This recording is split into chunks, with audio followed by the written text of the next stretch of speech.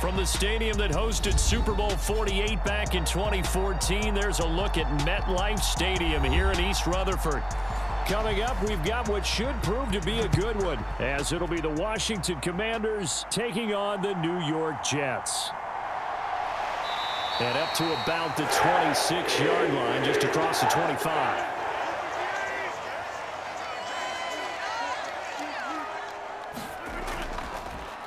Now Hall to start the drive. And he's going to get a solid gain of nine before being brought down. Second and right at a yard. The success there, Charles, coming on the outside of the field, of the ground game. Curious to see if that continues as we progress. Yeah, we often talk about a variety in play calling and usually between run and pass.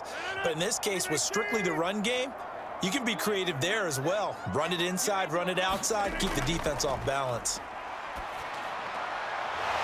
Now here's a throw right side taken in by his tight end. And brought down, but not before reaching the 45-yard line. 10 yards is the pickup. Good enough for a Jet first down. Second and short, that's a rundown, so it's definitely a good time to go play action if you're feeling it. And they do so and pick up a first down. Back-to-back -back good plays have them on the move on first down. On first and 10, it's Hall to about the 48-yard line. I feel like I could see what he was thinking on that carry. Wanted to follow that big tackle through the hole. Ended up only getting four yards on the carry. I think he had designs on that one being bigger. Now a second and six.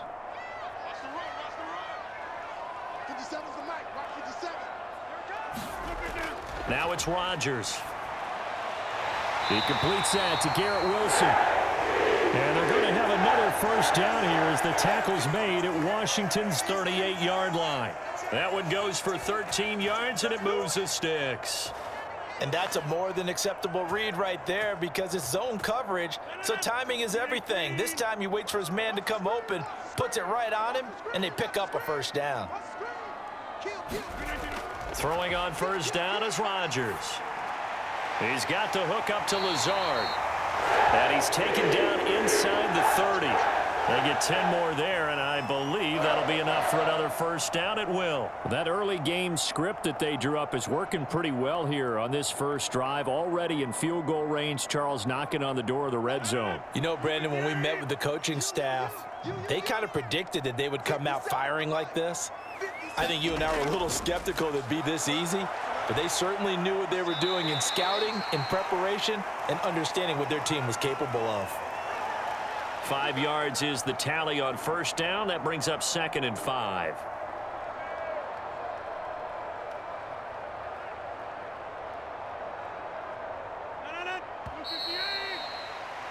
We're scoreless after one. Second quarter now from MetLife Stadium. The Jets with the football here. Here's a second and five. As they've got it as we resume action. Here's Rodgers. And this throw a bit late as he couldn't reach back for it. I like the call. It looked like the right time to dial up a running back screen. But this one got disrupted right from the start and ends up falling incomplete.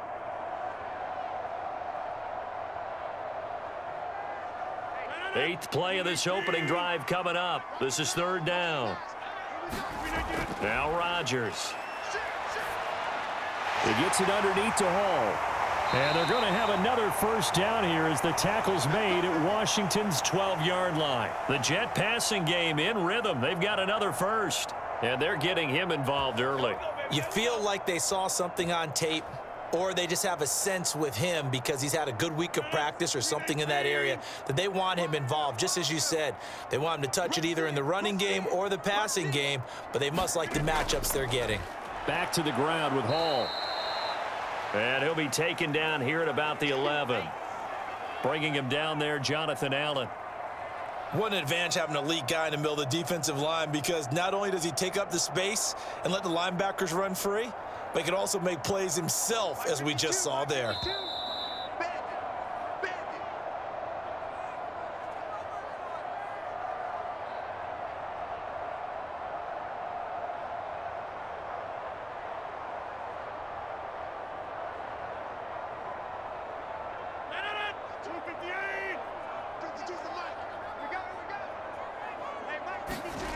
Rodgers going to throw.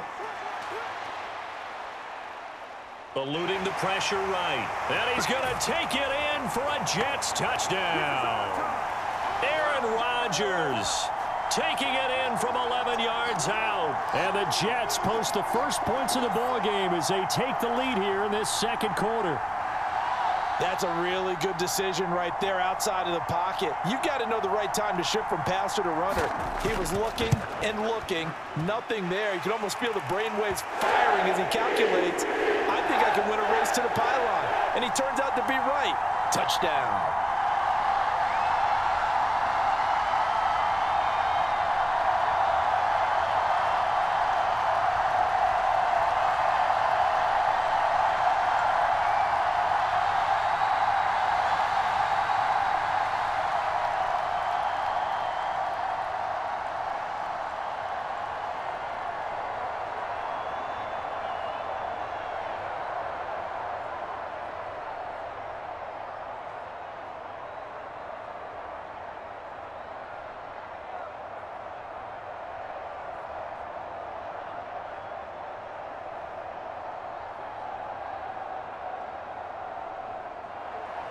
Morstead out now following the touchdown to kick.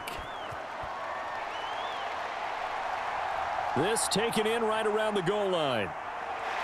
And he'll go down as this drive will start at the 25-yard line.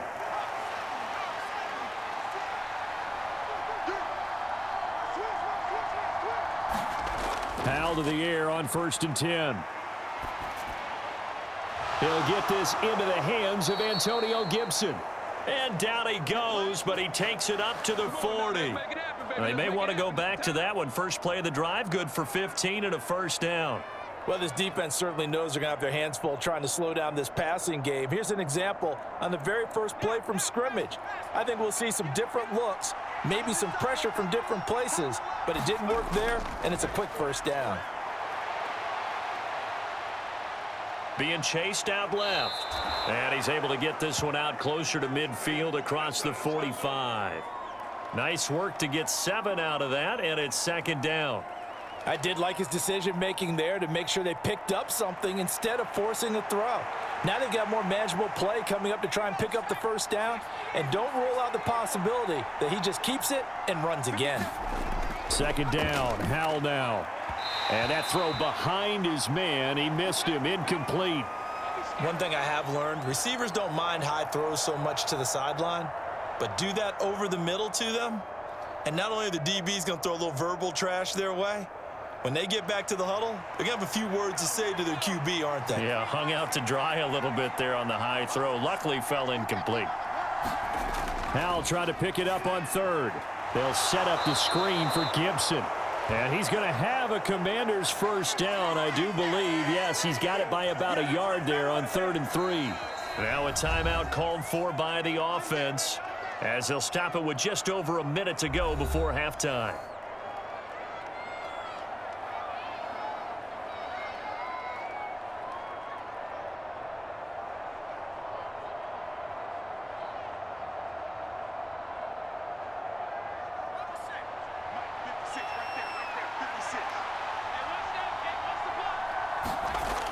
Throwing on first down here. Back to Gibson and another catch for him. And they'll get him down as he's inside the 40. Now the Commanders going to burn the second of their timeouts as the clock will stop with 55 seconds to go until halftime.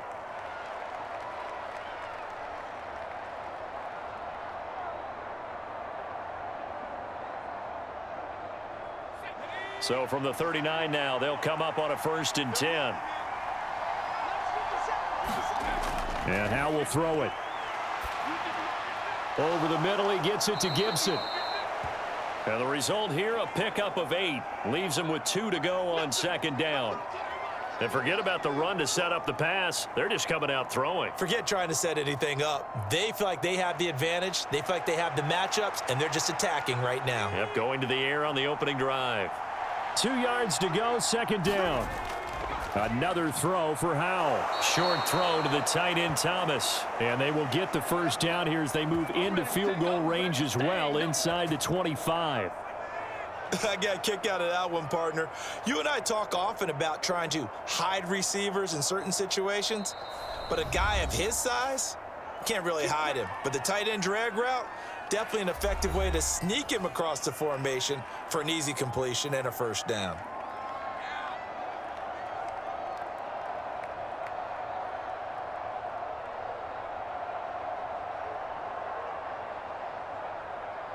So even though it's first down, here's the field goal unit on now to try to get three before halftime. They'll spot it at the 30, so this is a 40-yard attempt. Slye able to put this one through. And they are on the board, but still trailing. It's 7 to three. Well, still trailing here, but they do get the late field goal. Now their defense will try to keep this score right where it is heading into the locker room. Yeah, and trailing at the break, you obviously don't want to go in off of a negative play. Give them credit for that one. Finding a way to put points on the board, give them any type of a spark, anything to build off of as they try and plan a comeback.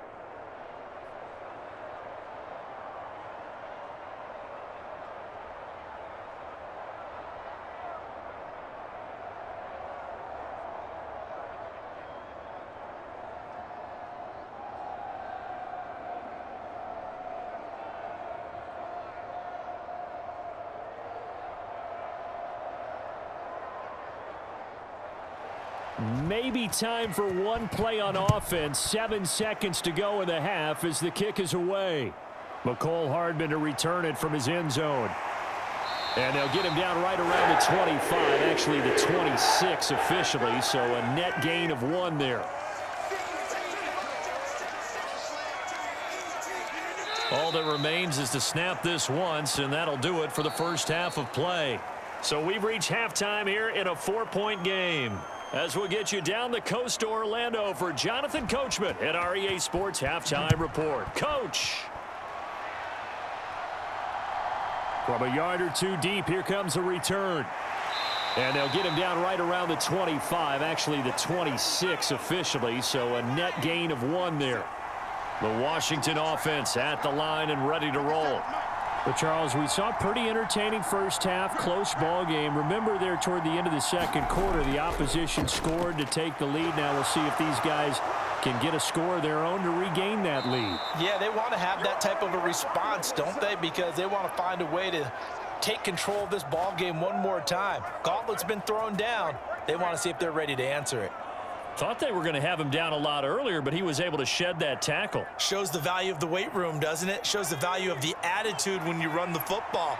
Don't go down easily. Break a few tackles. Gain some additional yardage. And now a throw on first down there, but it's incomplete. He shook his head right when he released that throw. He knew it was going to be a little off target. Yeah, the excitement got him on that one. Wasn't able to control the fact the receiver was open, and it would have been an easy throw. Third quarter of a tight football game as we come up on a second and 10.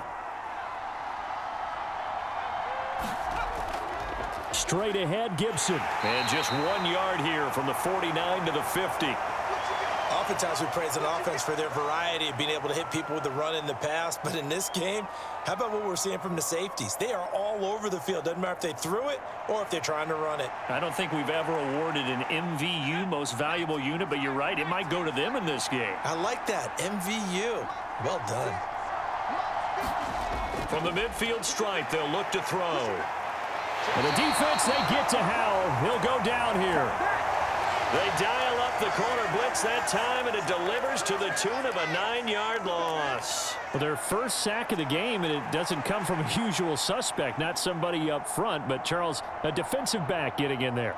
And I can tell you from experience, he's beyond excited to make that play because you're exactly right.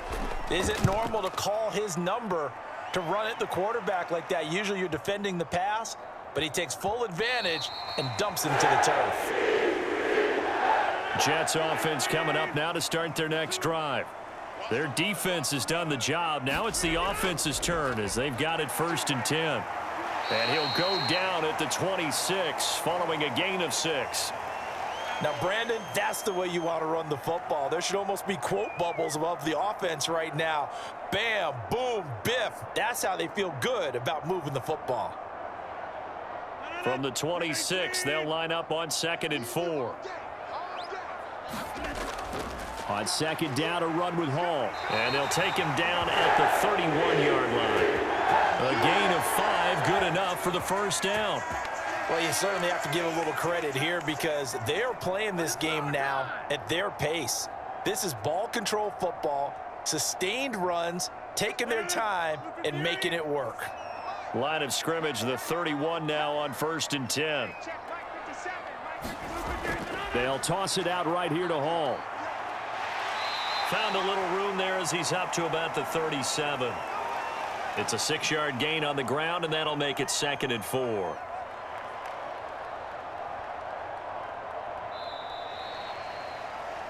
Three quarters in the books. You are watching the NFL on EA Sports. Back now here at MetLife Stadium. It's Jet football as they've got the lead here, and we get set to begin quarter number four.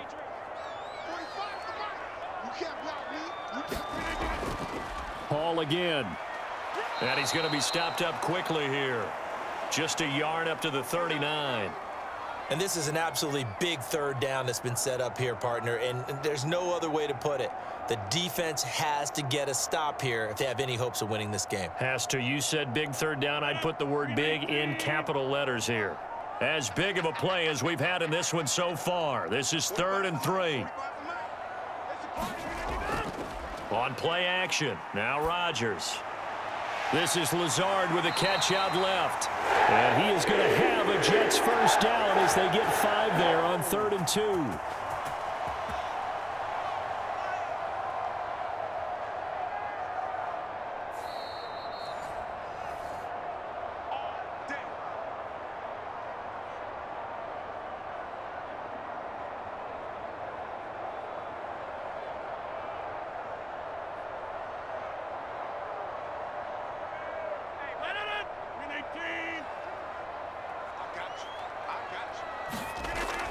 Five points of contact necessary at this stage as they'll run on first down. And now right out of the two-minute break, we'll get a timeout used defensively with a minute 56 to go.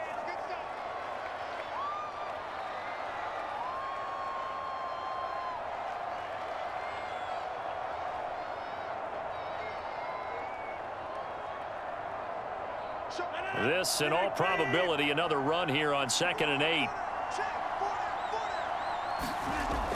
He's going to get it again. Just looking to get forward and protect the ball.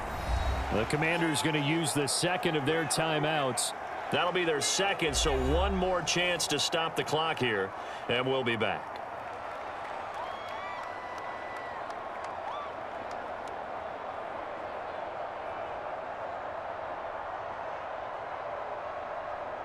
And on third and five, this will be the eighth play of the drive. Back to throw, Rodgers.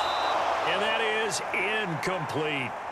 Trying to get their tight end involved finally. That's the first time that they've looked his way. He's kind of been a forgotten man in this offensive scheme. Yeah, it didn't look his way at all in the first half, and I'll bet you the offense coordinator made a note at the half and said, let's get him involved because he can be a big-time playmaker for us. Here's Thomas Morstead now as he's on to punt for the first time this afternoon.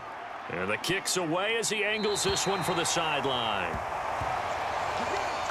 This is first and 10.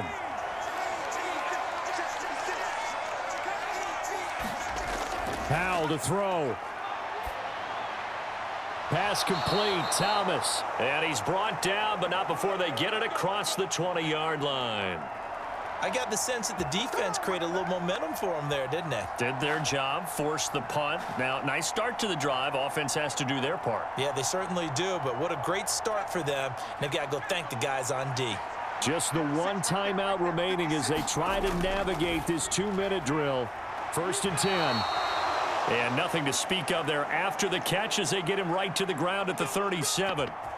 In a two-minute drill, we often talk about taking care of the football, but sometimes it's just a matter of who wants it more. How about him going up top on a 50-50 ball and taking it away for a big play? Here's first down. Here's Howell. Gets this to Gibson. And they will only muster a yard here to the 38. It drives some people crazy to see those short throws underneath. They've got to find a way to gash the defense downfield.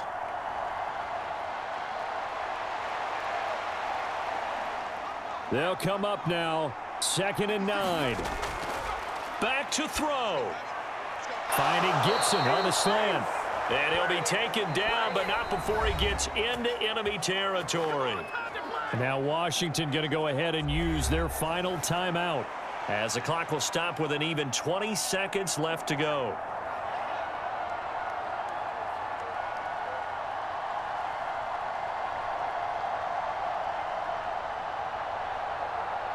No timeouts left. Of course, the defense knows that too. Here's first and 10. They'll look to throw. Taking a shot for Samuel. And oh, that one nearly intercepted. That would have sealed it. Instead, it'll be second down. Oh, this defense has been so stingy all game long. No reason to think it's suddenly going to open up now. They took their shot, but this, like many others, falls incomplete. Another try, second and 10 now. Back to throw. He's going to air this thing out deep for Thomas. And that's going to be incomplete. Good effort there trying to take a shot, but it's third down. Oh, and this is nervous time now. They decided to go for it right there. Fortunately, still a little bit of time left for another shot, but this one almost certainly has to be in the end zone. Well, this crowd is making an impact right now. Third and 10. Howell with one final shot. Slings this deep from McLaurin. A fight for it, and this is caught. It's caught indeed What a game we were treated to in this one. And then on that final play, they had a chance. They had the ball just beyond midfield for one final shot, but couldn't get it done, and they suffer the loss. Yeah, and you mentioned how they had a chance on that final play, and getting it to midfield gave them that opportunity, hoping they could find their way to the end zone and make that miracle happen. A really good ending to an entertaining contest, though.